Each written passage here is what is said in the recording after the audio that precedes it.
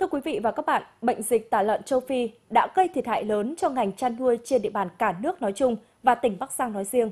Do là tỉnh có tổng đàn lợn lớn thứ hai cả nước, nên khi bệnh dịch tả lợn châu Phi xâm nhập vào địa bàn, công tác phòng chống đã được tỉnh, chính quyền, các địa phương và cơ quan chuyên môn vào cuộc quyết liệt, song cũng khó có thể kiểm soát được thiệt hại.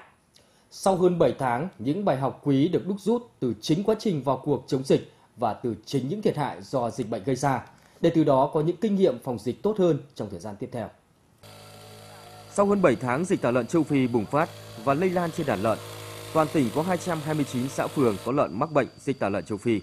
Dịch tả lợn châu Phi cũng đã khiến cho 272.000 con lợn, tương ứng với 14.500 tấn buộc phải tiêu hủy. Tổng giá trị thiệt hại khoảng 400 tỷ đồng. Để phòng chống dịch, tỉnh Bắc Giang đã chỉ đạo cả hệ thống chính trị vào cuộc hết sức tích cực. Song do bệnh dịch chưa có vaccine phòng, lây lan với tốc độ nhanh. Trong khi đó kinh nghiệm phòng dịch lại chưa có nên tỷ lệ chết cao.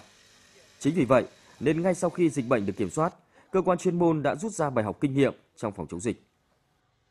Cái kinh nghiệm lớn nhất trong quá trình phòng chống dịch tả lợn châu Phi trên địa bàn tỉnh vừa qua đó là tỉnh đã chỉ đạo một cách là sát sao và đã đưa cả các hệ thống chính trị vào cuộc để phòng chống dịch và hai là cái công tác tuyên truyền đã được tỉnh đẩy lên rất cao tất cả các cơ quan truyền thông đã vào cuộc cùng với lại các lãnh đạo tỉnh và các cái à, huyện thành phố. Nên cái công tác tuyên truyền đã rất là sâu rộng và người dân đã nắm được. Do vậy là tất cả các người chăn nuôi đã cùng sát với các chính quyền địa phương vào cuộc để chống dịch. Do vậy công tác xử lý các cái ổ dịch tại cơ sở đã được kiểm soát một cách chặt chẽ. Toàn tỉnh có gần 200 xã đã qua 30 ngày không bùng phát dịch. Số xã tái phát sau 30 ngày cũng đã giảm nhiều.